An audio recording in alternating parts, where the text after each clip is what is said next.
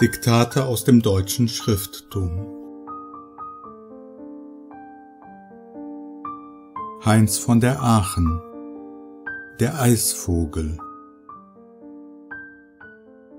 Ein kleines Ding, so groß wie eine Kinderfaust, mit einem großen Kopf, der ganze Vogel ist fast nur Kopf, mit ganz kurzen Fittichen und mit einem langen, dolchartigen Schnabel.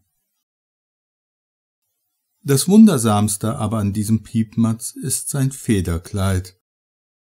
Der große Schnabel und der Oberrücken erstrahlen in einem leuchtenden Türkisblau, so unwahrscheinlich blitzend und blinkend, dass man meint, nun plötzlich im brasilianischen Urwald zu sitzen, wo es viele solcher Farbenwunder gibt.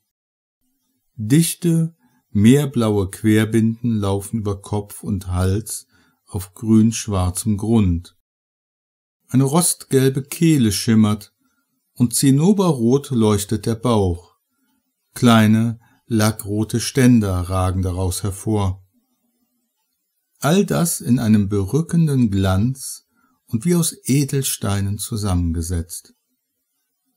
Dieser leuchtende Piepmatz aus Edelsteinen ist ein ganz frecher Fischräuber. Er schwirrt wie ein Pfeil über die Wasserfläche, und wo sich ein Silberrücken, ein Schuppenpanzer unter der Kristalldecke sehen lässt, stößt er mit seinem Dolchschnabel hinunter. Zuweilen sind sie so groß wie er selber, die Beutefische, die er herausholt und fortschleppt.